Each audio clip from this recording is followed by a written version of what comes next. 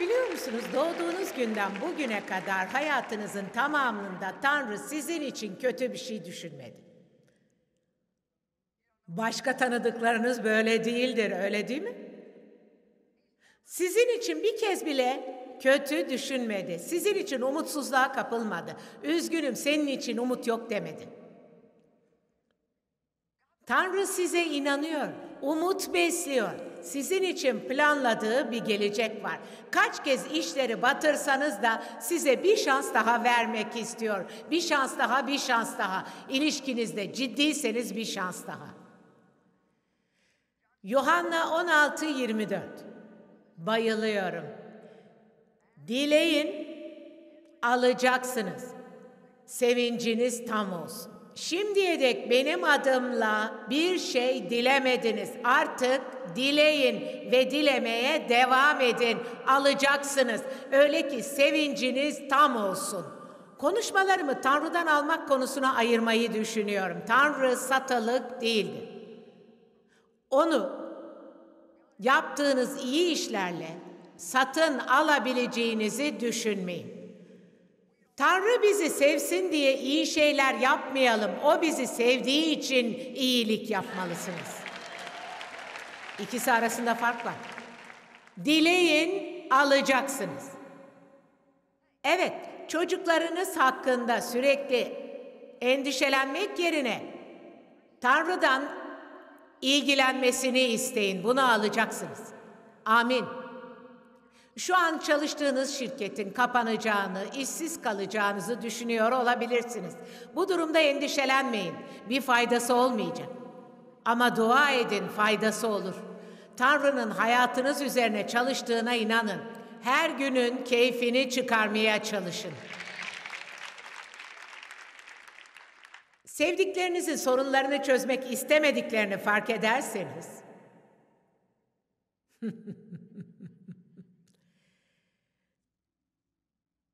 Yani sevdiklerinizin sorunlarını çözmek istemediklerini fark ederseniz onlar için endişelenmeyin. Yapmak istemedikleri bir şey yapmaları için onları zorlamayın. Birinin Tanrı'yı zorla sevmesini sağlayamazsınız. Bunlarla uğraşmak yerine onlar için dua edin. Siz hayatınızın tadını çıkarırken bir şey anlattığınızda çıkaracakları dersten fazlasını çıkaracaklardır. Emin olun. Bu bazılarının hoşuna gitti. Bazılarının pek gitmedi sanırım. Ben de bir kurtarıcıyım. İzin verin yardım edeyim. Ben ne öğrendim biliyor musunuz? İsa burada bulunduğu süre boyunca size yardım edebilir miyim? Size yardım edebilir miyim? Lütfen yardım etmeme izin verin. Hayatınız darmadağın demedi. Ne yaptı biliyor musunuz? Ona gelen herkese ama herkese yardım etti. İşin aslı şu, birine yardım etmek için dört yıldır uğraşıyorsanız ve hala yardım edememişseniz o henüz hazır değildir. Bu durumda onları serbest bırakın ki daha kötü bir duruma düşsünler. Her neyse, neden hayattan keyif almadığımızla ilgili bir sürü sebep sayabilirim ama bunların hepsinin neden yanlış olduğunu kanıtlayabilirim. Hayattaki her şeyin keyfini çıkarmanızı Tanrı sizden istiyor. Keşke benim de Joyce'unki gibi grubum olsaydı. Aa, emin misiniz? Bu halime imrenebilirsiniz. Ama burada bulunduğum zamanın gündelik işlerle uğraşırken harcadığım zamana kıyasla ne kadar az olduğunun farkında mısınız? Yuhanna 17-13'e dönüyoruz. Hayattan keyif almak konusuyla ilgili olan ayetlerin Yuhanna'da olması çok ilginç. Yuhanna'nın Tanrı'yla muhtemelen diğer havarilerden daha yakın bir ilişkisi vardı. Sürekli olarak akşam yemeğinde İsa'nın göğsüne yaslandığını söyleyen kişi de oydu. O zamanlar yemekleri uzanarak yiyorlarmış. Bu çok iyi bir fikir değil mi?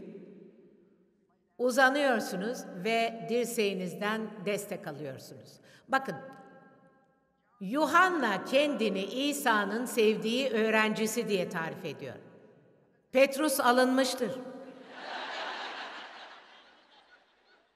Bu kitabın yazarı kendi. Ama kendi hakkında İsa'nın sevdiği öğrencisi diyor. Konu şu ki o sevildiğini biliyordu. Koşulsuz olarak sevildiğinin bilincindeydi. Sevildiğinin bilincindeydi. Bu yüzden de günlük hayattan keyif almakla yazan kişi de o oldu. Sevildiğinizin bilincinde olduğunuzda, sevgiyle, güvende hissettiğinizde bu size özgüven verir. Korku içinde yaşamazsınız. Gündelik hayatınızın keyfini çıkarabilirsiniz.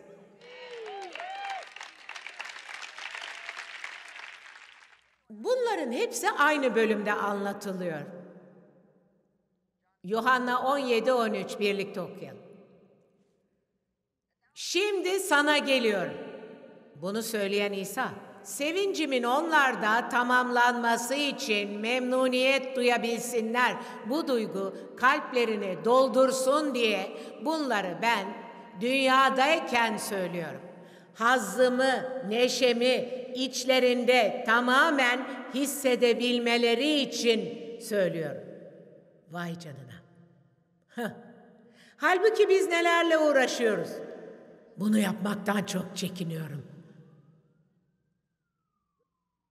Tanrım bu bitince nasıl da sevineceğim. Ama bakın, Tanrı bizim şimdi mutlu olmamızı istiyor. Başka bir zaman değil. Hayatınızda size şunu söyleten bir sürü şey vardır. Bundan keyif alamam.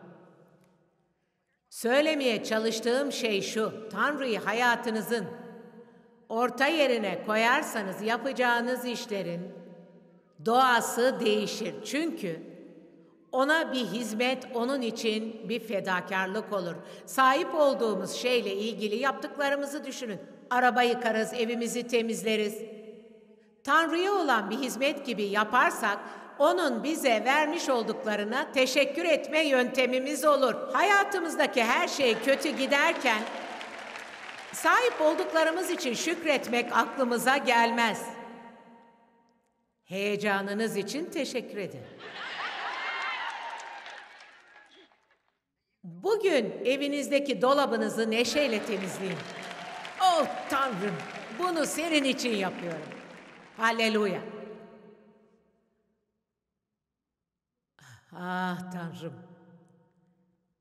Neşe üzerinde çalışmak hayati önem taşır. Bir kadın bu konferansı dinledikten sonra hayatın tadını çıkarması için ona fırsat vermiş olmamdan dolayı bana teşekkür etti. Aynı şekilde düşünen izleyicilerimiz de var. Yani gerçekten bunun keyfini çıkarabilir miyim? Evet. Şimdi biliyor musunuz? Bunu yazanın yani Süleyman'ın dünyadaki en bilge insan olması gerekiyordu. Ama o çok aptalca şeyler yapmıştı. Her ne kadar bu yaptıklarının sebebini anlamasam da zekice şeyler söylemiştir. Aslında kısa bir kitap olan Vaiz de bize dört kez yapmamız gereken en önemli şeylerden birinin hayattan keyif almamız olduğunu söyler. Yaptığımız işten keyif alalım.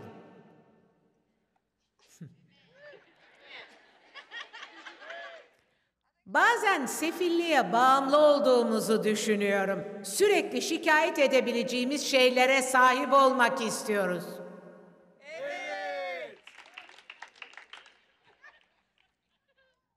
Yapmam gereken çok şey var. Bu kadar çok şey varken ben mutlu olamam, olamam, olamam. Bu yolluğu seçen sensin. Bundan memnun değilsen değiştir.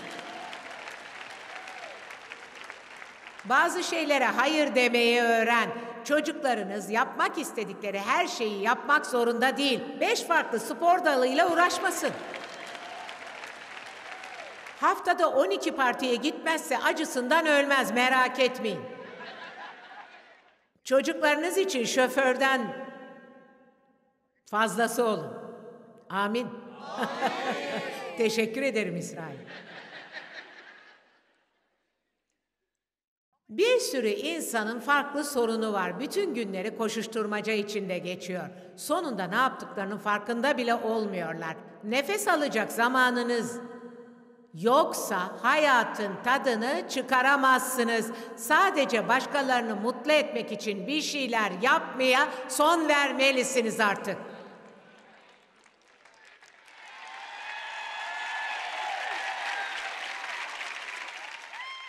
Ama şimdi onları öfkelendiremem diyorsunuz. Siz onları öfkelendirmek istemediğiniz için kendiniz öfkeleniyorsunuz. Bunun acısını da başkalarından çıkarıyorsunuz.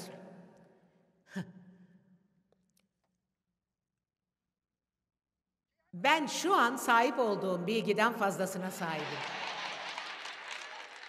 Bildiğinizin farkında olmadığınız şeyleri bildiğinizi öğrenirsiniz.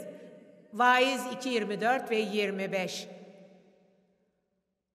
Bazılarınız şöyle düşünecek. Ben kendimi mutsuz hissediyorum. Evet, probleminiz buysa hislerinize göre yaşıyorsunuz. Kendimi mutsuz hissediyorum. Geleceğe dair umutlu değilim. Hislerinize bir tekme vurun gitsin. Gitsin. Ve şunu söyleyin, hislerime göre yaşamayacağım. Hayatımın tadını çıkaracağım artık. Bunu yapacağım.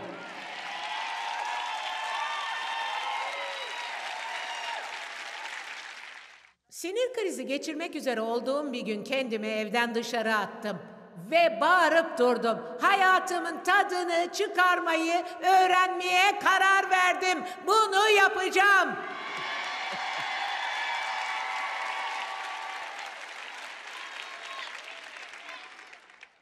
Bazen sert bir Hristiyan olmakta fayda var. Ben aslında sizin anladığınız manada söylemedim. Vaiz 2.24 İnsan için yemekten, içmekten ve yaptığı işten zevk almaktan daha iyi bir şey yoktur. Bakın burada çok yemekten bahsetmiyor. Bunu açıklama gereği hissettim. Yemek içmekten daha iyi bir şey olmadığını dört kez duyacaksınız. Buna bayılıyorum. Yaptığı işten zevk almaktan daha iyi şey yoktur. Yaptığınız işi bilerek yapacaksınız. Market alışverişi yapmak zorundayım ama şeytan bundan zevk alacağım. Bulaşıkları yıkamak zorundayım ama zevk alacağım. Trafikte araba kullanmak zorundayım. Ha ha! Ama bundan zevk alacağım. İsa da benimle arabada olacak.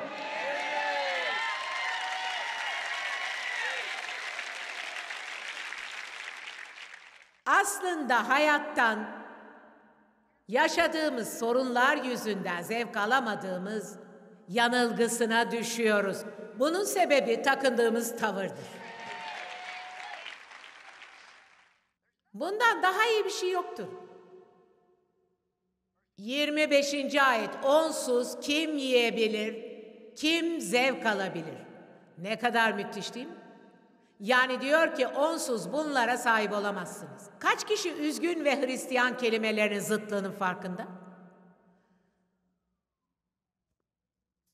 Hristiyanlıkta bize aciz ve sefil olmamızı, stres içinde meşgul yaşamamızı söyleyen hiçbir şey yoktur. Trafikten nefret ediyorum, market alışverişinden nefret ediyorum. Tanrım çok şükür bugün cuma. ha, işte Tatil zamanı geldi. Huh, harika zaman geçireceğim. Sonra da borca girip tatile çıkarsınız. Aynen öyle. Sonra eve dönersiniz. Önünüzdeki 12 ay boyunca tatiliniz için girdiğiniz borcu ödemekle uğraşırsınız. Bugünkü konumuzun anlamını çözersek hayatımızın tamamını tatildeymiş gibi yaşarız. İsa dedi ki, ey bütün yorgunlar ve yükü ağır olanlar bana gelin. Ben sizi rahatlatır ve ruhlarınızı tazelerim. Bugünkü vaazımı tatilden veriyorum.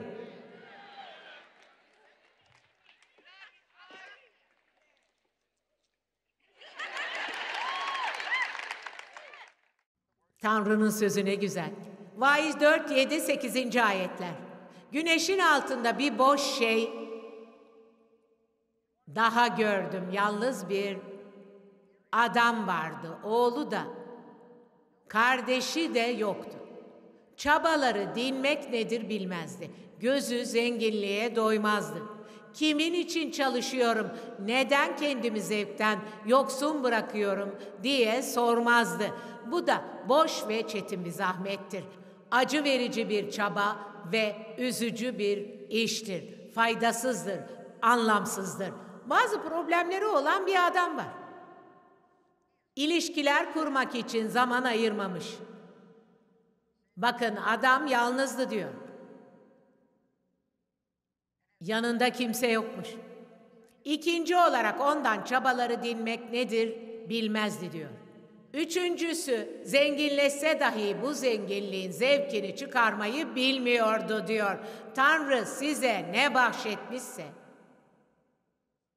birazını biriktirmeli, birazını dağıtmalı, birazını harcamalısınız. Ne bahşetmişse birazını biriktirmeli, birazını dağıtmalı, birazını harcamalısınız. Hepsini biriktirirseniz mutlu olamazsınız çünkü gelecekten korkarsınız. Gezegendeki en önemli ruhani kurala göre yaşamazsınız. Ne ekersek onu biçeriz. Dünyada bir ekim zamanı bir de hasat zamanı vardır. İnsanlar ne ekerse sadece onu biçer. Bazılarınız belki tıpkı benim gibisiniz.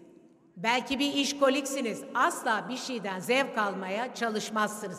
Çünkü kendinizi sadece çalışırken iyi hissedersiniz. Aslında gerçek şu ki ne kadar çok çalıştığınız hakkında çok ama çok konuşuyorsunuz.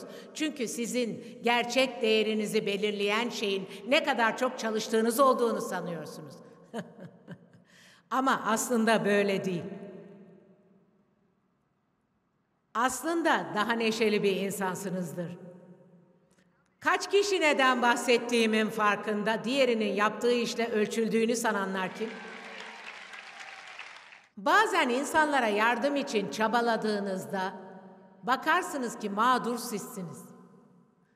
Durmadan başkalarına yardım ediyorum. Burada her işi ben yapıyorum, her şey benden soruluyor.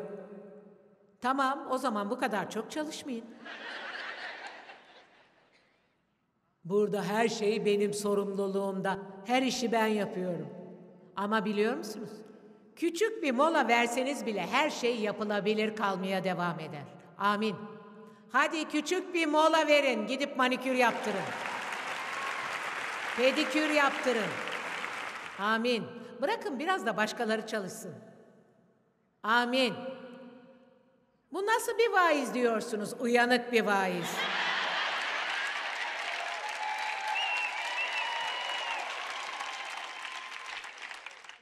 Çalışıp eğlenmemek sizi bir kukla yapar. Ah Tanrım devle ilgili bir şey anlatacağım. Çok hoşunuza gidecek. Geçen hafta bu konuyu buraya taşımaya karar verdim.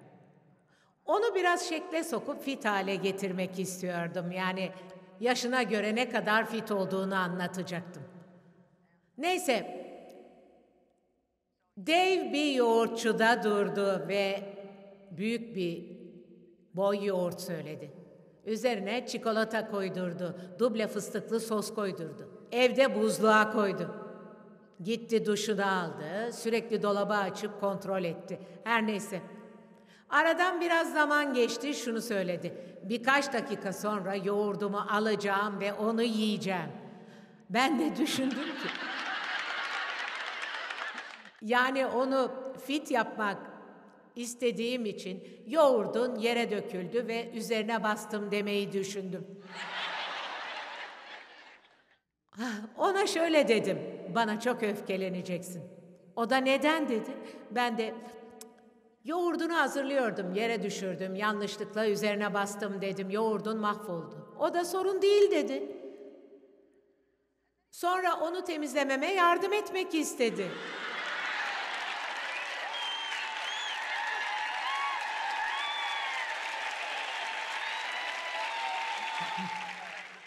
Donup kaldım. Ciddi misin dedim. Gerçekten mi? Senin hakkında kötü bir şey anlatmak istiyordum. Şimdi muhteşem biri olduğunu anlatacağım. Çünkü ben şu tepkiyi verirdim. Ne yaptım dedin? Nasıl yoğurduma basarsın? Neyse tamam sonuç olarak demek istediğim ben hayatımdan zevk alıyorum. Vaiz 5, 18 ve 19. ayetler.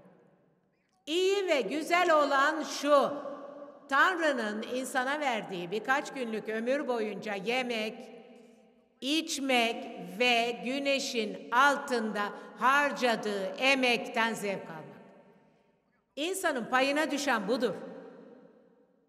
Hadi ama şu şeytanı delirtin, işinizden zevk alın. Şeytanı delirtin, işinizden zevk alın dedim.